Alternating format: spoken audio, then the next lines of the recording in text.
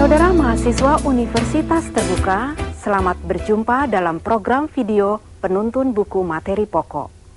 Program ini membantu Anda dalam memahami konsep atau pengertian dalam mempelajari buku materi pokok mata kuliah Ekonomi Pembangunan 2.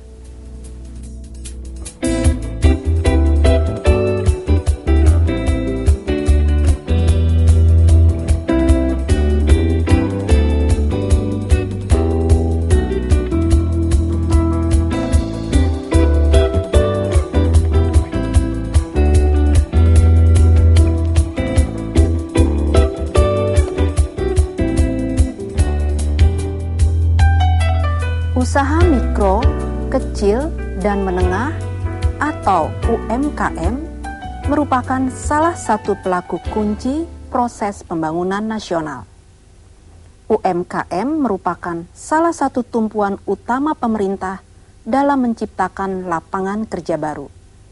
Saat ini, UMKM merupakan bagian penting dari perekonomian suatu negara.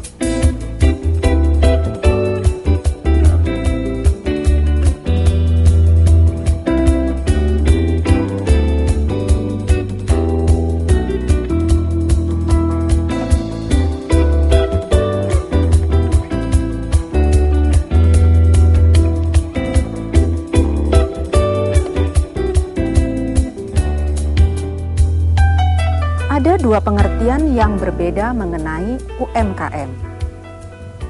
Pemerintah melalui Undang-Undang Nomor 9 Tahun 1995 memberi batasan terhadap usaha kecil, yaitu usaha yang memenuhi kriteria satu, memiliki kekayaan atau aset bersih 200 juta, tidak termasuk tanah dan bangunan tempat usaha. Dua, hasil penjualan tahunan atau omset paling banyak satu miliar. Tiga, milik warga Indonesia.